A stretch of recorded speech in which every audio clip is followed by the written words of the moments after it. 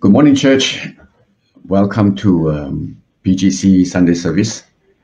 And it's my pleasure to be able to speak today, this morning, um, on the book of Malachi, chapter 4. And before we start, let's have a word of prayer. Heavenly Father, I thank you for this opportunity to speak your word. Lord, let me be your tool. Let me be your vessel, Lord. Let me speak the word that you want me to speak.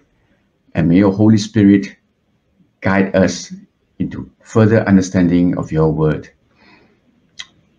Lord, I pray that all that is listening to your word, Lord, will be convicted, will be touched, and that the Holy Spirit will stir within their hearts, that they will draw close to you and return to you.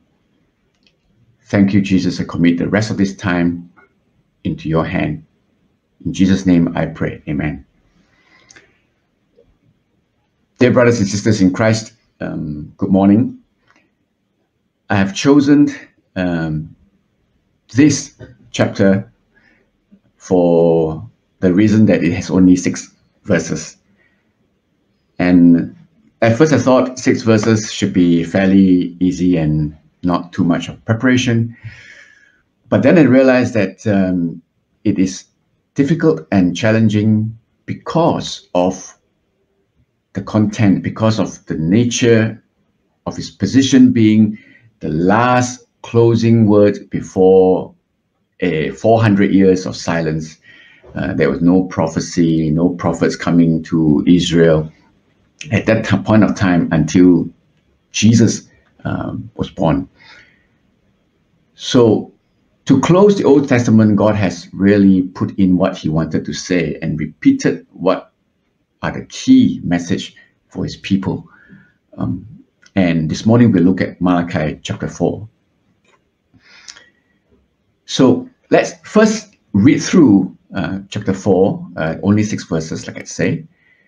Surely the days, the day is coming, it will burn like a furnace.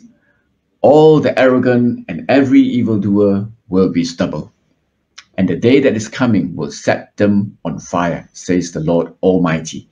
Not a root or a branch will be left to them.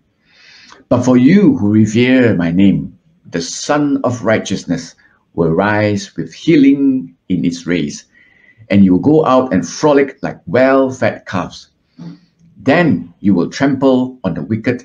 They will be ashes under the sole of your feet on the day when I act, says the Lord Almighty.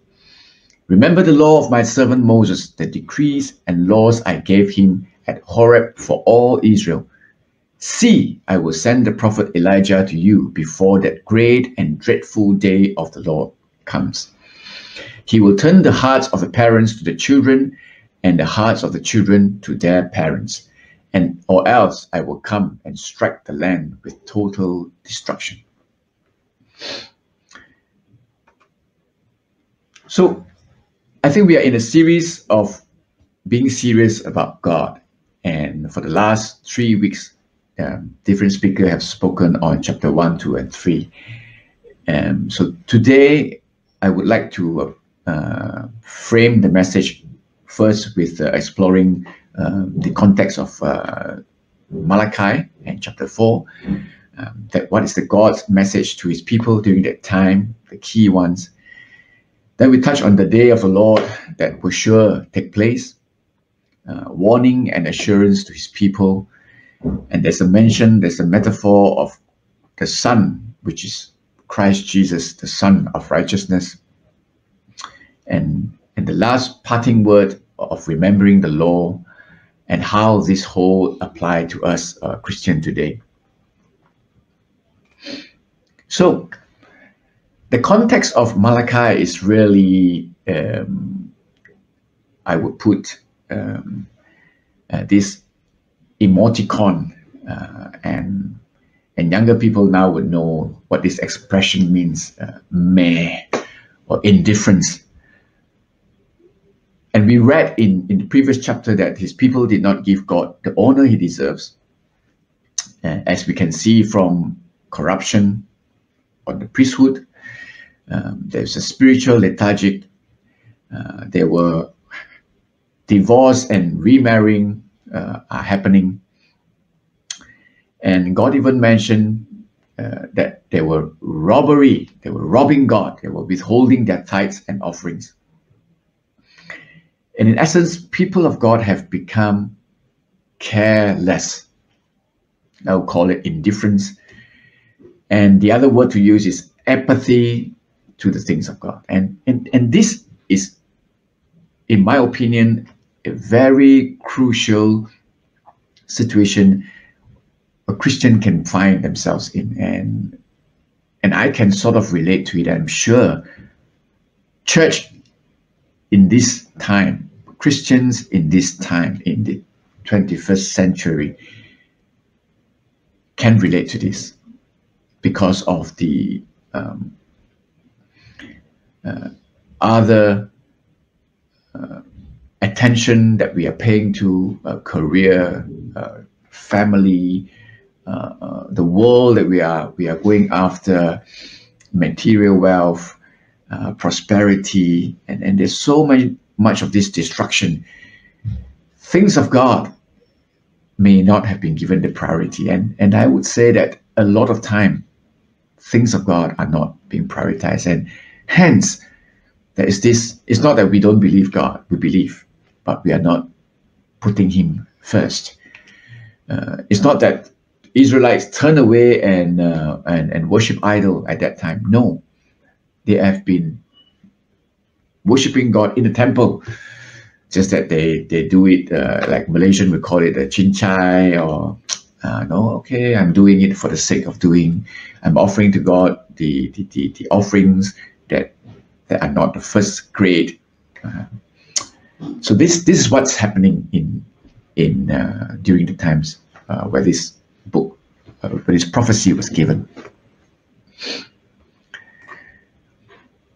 And if we are to look at the previous chapter, Malachi in total, uh, I would like to pick up some of the words that God spoke to them, uh, which are I have loved you. It's from the very beginning of the chapter 1. I have loved you.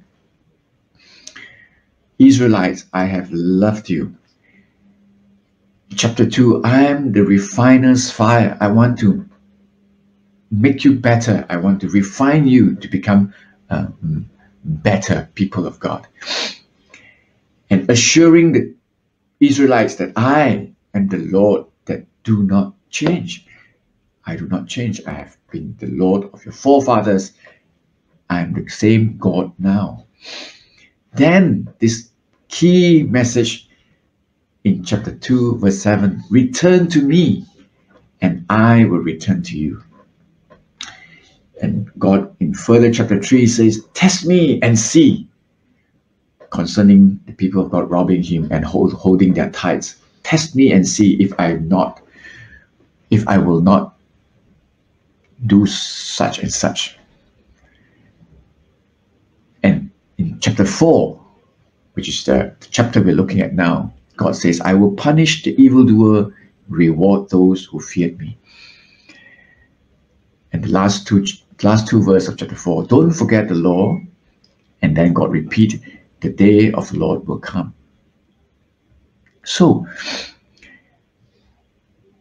if we are to have a helicopter view of the whole Malachi, I would say that it's a message of God's love and uh, to his people. Despite all the what I will do if all the warnings and punishment, what will happen, what will take place. The key, the key message I would say is that people, I love you. I'm still the same. Come back to me. And, and, and I can imagine myself telling my son um, uh, to, to do good, to, to behave well, to have a good attitude and, and polite. And then I said, if you don't do this, you may come across uh, such and such punishment, or you may uh, lead yourself into uh, uh, circumstances that is not beneficial to you. But when I say those words, when I illustrate those situations, um, the warnings, those are not my key message. The key message is, son, I love you. Listen to me. Uh, be good. Those, those are the key message. And, and I think Malachi, in some way, is the same uh, message that God wants to tell his people. You know, throughout, since Abraham all the way until uh, at that point of time, 400 years before Jesus Christ come to earth, people, I have loved you. You have seen all the miracles, you have seen, you have been told by the forefathers that these are the things that happen. The, how God have chosen the Israelites and how God has been with them with the exile, the punishment, the, the, the, their exile in Egypt, and the return into the temple, into Jerusalem. Have you not known all this? And and here God is telling us that, you know, I have loved you. And please return to me. Please choose to fear God and not to backslide or fall.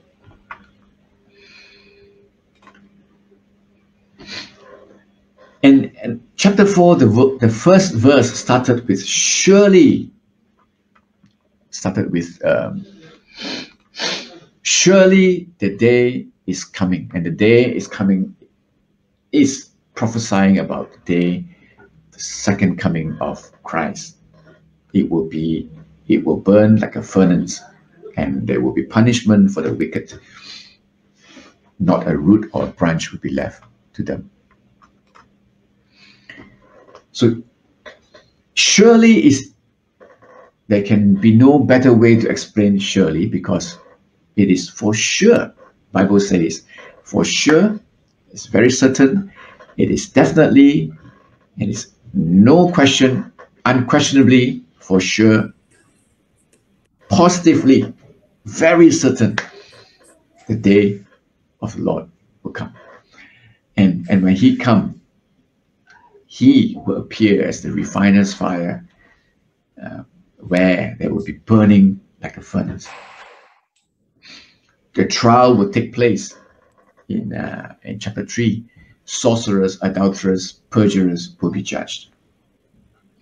And God says that I will spare those who feared me, the righteous among the wicked. There will be distinction between them. So when the Lord come, there in the judgment day, there will be distinction between those who fear God, those who fear God and are righteous and found righteous, and the wicked. And this is for sure.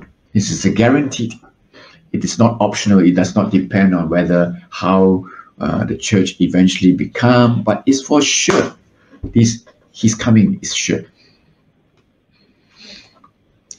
And I would say that the day of the Lord, the, the anticipation, the, the, the faith that this day will take place, um, whether or not we will live to see it, is the foundation of our Christian faith because we believe the Word of God is true. We believe Jesus Christ came and lived and died and resurrected, and He will come again. And that's part of our foundation of our faith. And in distinction between the evildoer and God-fearing people, uh, there are warning and there are assurance. Warning to the evildoers, assurance to the God-fearing people. And in chapter 4, um, if we separate it out, you see the warning to the evildoers. God says that they will burn like furnace. The arrogant and evildoer will be stubble set on fire. Not a root or a branch will be left, and there will be total destruction. When when when when we understand the burning is to the extent that root and branch will not be left. Meaning it's like it's uprooted and burned to ashes. So if if for a plant, for a vine, if you burn the top, the leaves, their root is still alive. They may flourish again over time, given the right condition. But this is total punishment, total destruction. And for the God-fearing people, God say, the Sun of Righteousness shall arise with healing in his rays, and you shall go out and frolic well-fed calves. And he further described that the godly people will trample on the wicked. The wicked will be ashes, yet they will burn, and then they become the ashes of the sole of your feet on the day when I act, when the day the Lord come, when the day that God will act, there will be deliverance and healing, and, and God people will be um, rewarded for their faith, for their uh, reverence to God. So, which side are we on? Which side we think we are on? Um, that's something that we can ponder. And are we waiting for this day? Are we anticipating for this day, uh, the coming of our Lord? And I think it is an excellent metaphor uh, used to to project Christ, the Messiah, the Savior, as the Son. He is the Son of righteousness. So if you look at sun, a, a physical sun within uh, this uh, uh, um, planetary system, sun is at the central and is sustaining the entire solar system. It is grand, glorious. It gives life to the world, to the natural world. And, and it gives light, it shines forth light, lighten up the entire world. And, and the rays of suns are far reaching, encompassing everywhere on the earth. But sun also scorches and burns like fire. And, and if we compare, if we put Jesus as the Sun of righteousness on a spiritual form, he is at the central and sustaining the entire universe, entire creation, beyond the solar system. Christ, that ascended up to heaven, seated at the right hand of God, has been put above all. He is the central and sustaining Sun of the whole humanities uh, and creation. And he is exalted and glorious. He gives life and abundant lives. He's the light of the world. Christ is said in John to be the light of the world, shining, shining out truth to all humanities. And the rays of Christ shines forth with healing and healing can be meant to be literal healing from sickness, affliction, healing from a broken heart, or healing as in we are healed and then we slowly learn and our spiritual men are healed and we be becoming alive to God. The word of God is health to flesh, we see in Proverbs. And at the same time, comparing to the sun that scorches and burns like fire is in itself so powerful Christ is that source of fire for punishment. He is in itself the Son of righteousness that we cannot ignore. And it's so much that this is the message of the gospel that Christ is the message of the gospel. And, uh, and the Son is just an and, and imagery that we can imagine the grandeur of Christ um, within the solar system. Jesus is the centrality of creation and, and his function and his purpose is as if it's never changing You like it or not, the sun is there. Whether it's day or night, the sun is there. Whether you want to hide underneath the bed, in the room, total darkness, the sun is still there. And, that, that is the, the uh, example. We can't ignore. And last two, second last sentence or, or verse in chapter 4, um, God reminds the Israelite to not forget his laws and decrees. Um, hang on to the word. They are life. They are importance to your salvation. And I think it's not only the Old Testament where before Christ comes, it's all about um, uh, obedience and following the law of the Lord. Until now, it is still important and, and relevant because law and grace are two different principles that are not contradicting each other. So you cannot have uh, uh, um, accept Jesus Christ as a Lord and Savior, um, that our sins are forgiven without then choosing to obey the law. And, and obeying the law is a natural response to his love and grace. So,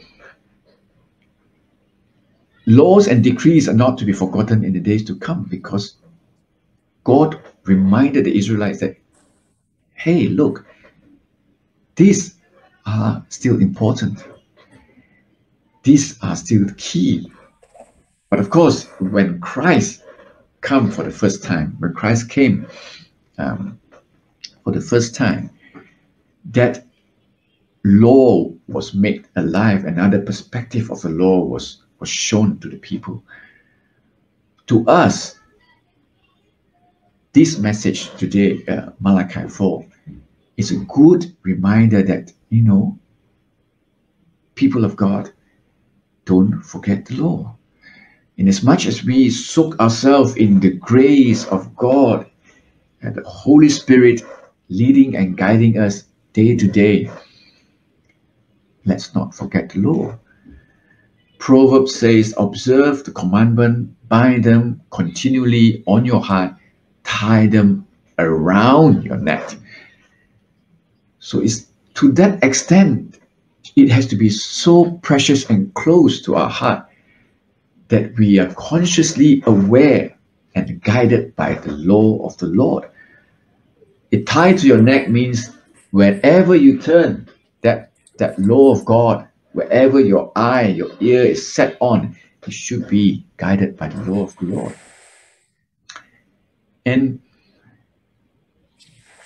last verse, it move on to say that, uh, that will, um, the parents uh, turning the hearts of the parents to the children and the hearts of the children to the parent. And, and I think this itself uh, means that God will bring restoration to the family. Because if you look at the church, it consists of many families. And if there are no families, it consists of many parents and many children. So when the day of Lord arrives, there will be a restoration on relationship of children and parent, parent and children. And that is the basic building blocks of a church. Imagine you have a church full of children, but the parents are not coming to church. Imagine you have a church full of parents, but the children are in the world. Something is not right. So when God want to get things right, He get right right at the family unit. There will be restoration, there will be reconciliation. There will be making right with the family, and that is when we see the Holy Spirit will move. The church will grow and become significant. There will be repentance because what is that to say if one repented but are not in the right terms with their family, if they have not honored their parents. And this is what what the Lord is trying to say. And how can we apply um, Malachi? And I think at the beginning I said it's, it, it's relevant, it's a challenging chapter because it is a message that speaks right at my heart. And for those who are who are listening to this message, who are tuning in to Zoom, this is a message that speaks right to your heart. And and and I do not expect that immediately you kneel down and pray, ask God to repent. No.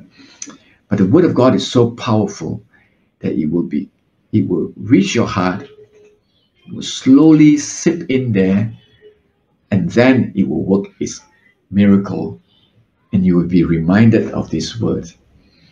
I have loved you. Return to me, and I return to you. Have you been serious with God? Have you been serious with the things of God? Have we become like the Israelites that Malachi was speaking to? We are serving, the priests are offering sacrifices, but they're not offering the best. We are serving, but we are not giving God the best that we can. Have we behaved indifferently? Have we shrugged our shoulder? Uh, I want to, but I don't have the time. Oh yes, prayer meeting. Yes, it's good. Mm. Let other people join them. Serving, invited to serve. Okay, I will see and the time will come. Do we have that expectation that the day of the Lord will come? Have we, while while we set our eyes on the day of the Lord, as in we have the perspective that whatever here is only temporal. This is not our main goal. Our main goal is on eternity. When the day comes. So if we know that the day of the Lord will for sure take place, and the righteous and the God fearing will be rewarded and assured. What are we doing now? As a believer of Christ Jesus, what, what are you doing now? Um, are you doing, are you anticipating the return? How different are we from, from the world? Have we any passion for the Word of God, for the things of God? Are we serious with God? It's, it's a very, it's a question. Imagine God asking us, not, not in a very um, threatening uh, manner, but in a very loving manner, reminding us hey, are you serious with my work? If we say, if we claim that we believe in the Word of God, we believe that Christ will surely come again, then we need to do something now to confirm our belief. We take action now, not when Christ comes. We take action now. We say yes to the work of God. We say yes to the invitation from God. We say yes to the service of God. We want to give God our best. And uh, that's the word of God to us today. Return to me, and I will return to you, and I will show you how richly I can bless you. And I will show you how much I love you. Let's end this morning with, uh, with a quiet time. Let's take um, some moment to pause and reflect. And like I said, I believe that the word of God spoken to you will linger in your mind. And, and I pray for the Spirit of God to work. From time to time, you will be reminded of His word. And to the extent that you say, God, yes, I want to be serious with your work. Let's pray. Heavenly Father, I thank you for this word, for this reminder for your assurance, Lord, that the day of the Lord will come, will surely come. Father, I thank you for the Spirit of God to work in us through your word, entering into our hearts, our mind, our thoughts, reminding us that you have loved us always and you never change. You cannot change. You're the same yesterday, today, and forevermore. And Lord, you have asked us to return to you, to repent and forsake our evil ways. That we want to say we die to ourselves, that we may be fully used by you, Lord. God, forgive us of our ignorance. Forgive us of our indifference. Forgive us that we have not been passionate about your work. But Lord, today, this moment, we ask for forgiveness and we ask God to move, to mold us like a clay, that we may be used for your kingdom, that we may be used to serve your church, your people, that we may be used to speak your gospel boldly. That the people around us will see for themselves yes, this so and so is passionate about Christ. So and so is a real Christian. Father, I pray, Lord, it's not by might nor by power, but by the Spirit of God. I believe that you will slowly turn our hearts back to you. And I pray, Lord, that the church, Bangsar Gospel Centre, will continue to grow and continue to be refined. Each and every one of us, Lord, will come into encounter with you, encounter at a personal level, that we see Jesus as our Savior, that we hold dear to the Word of God, to the laws and the decrees, and that we fall down and we embrace this forgiveness and grace and love of Christ.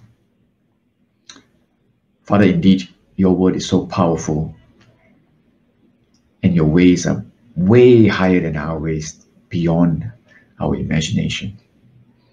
Lord, I ask that your word continue to convict us of our sins, that we will repent,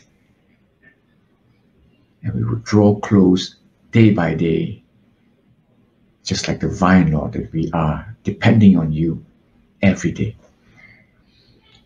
God, let us be the vine that bears forth your fruit. And maybe may we not be cut down and put to fire. Thank you, Jesus. In the most precious name of Jesus Christ, I pray. Amen. Thank you, Lord. Thank you for the word. Um, we close. That, um, all of us will continue to study the Word of God and let the Word of God speak to us, like how He speaks to us this morning. May God bless His Word. Thank you.